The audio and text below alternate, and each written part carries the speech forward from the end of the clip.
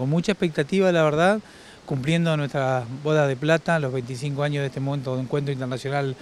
de diamante, que bueno, que, viene eh, evolucionado, que viene muy vanguardista. La verdad que este año en vez de cinco días vamos a tener tres días, pero bueno, con una programación que realmente es muy contundente y diferente a lo que se venía realizando. Así que bueno, preparándonos para vivir tres días de fiesta, para empezar a recibir a los motoviajeros que se dan cita de muchos lugares de la Argentina, de los países limítrofes, para vivir eh, realmente una fiesta a la altura de las circunstancias como nosotros queremos. Después de dos años de no poder desarrollarse, el diamante reaparece renovado y, bueno, hemos tenido que trabajar mucho para sorprender a la gente como siempre lo hicimos, ¿no? Que la gente venga y se sienta eh, satisfecha, bueno, por, por encontrar un diamante que sea eh, rico, rico en materia cultural, rico en materia turística, que podamos formar las expectativas de toda esa gente. Esto no, no, se podría hacer si no se trabajara transversalmente desde cada uno de los lugares, ya no solo del municipio, sino de la ciudad. Eh, tengamos en cuenta que nosotros tenemos dos fechas que son trascendentes en cuanto fundamentalmente a lo cuantitativo de llegada de gente, que es el Festival Nacional de Jinetería y Folclore y el Motoencuentro, en donde nos lleva una energía distinta, eh, un compromiso distinto a la hora de, bueno, que todos eh, los mecanismos, que todos los engranajes de este motor que tiene que ver con el turismo, con la cultura, con lo social, bueno,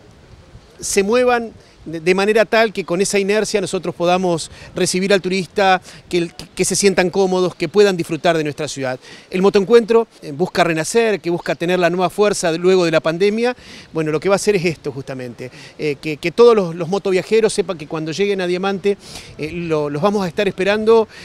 con lo que han vivido siempre, pero ahora con distintos contenidos, con distintas posibilidades durante el día y que hay una comunidad que como decía anteriormente, hoy está trabajando para que este principio de septiembre nos traiga lo mejor de lo mejor para que el motoencuentro se siga proyectando en el tiempo. Para nosotros es un placer poder acompañar primero a Javier, que es un amigo y es un laburante del turismo de hace muchos años, en la casa del Chino Monti, que es también eh, otro de, los viejos hacedores de la actividad turística. Así que nosotros sí tratamos de, estar en todos eh, los lugares porque consideramos que este tipo de actividades, eh, principalmente por porque siempre hablamos de temporadas altas, temporadas bajas, fines de semana, y este tipo de actividades son un motor importante para dinamizador de las economías, como hablábamos recién, sino que a su vez también eh, eh, fuera de temporada hacen que la gente llegue eh, a, la ciudad de Diamante, en este caso, que va a ser sede de un evento que ha sido un ícono y que ha sido como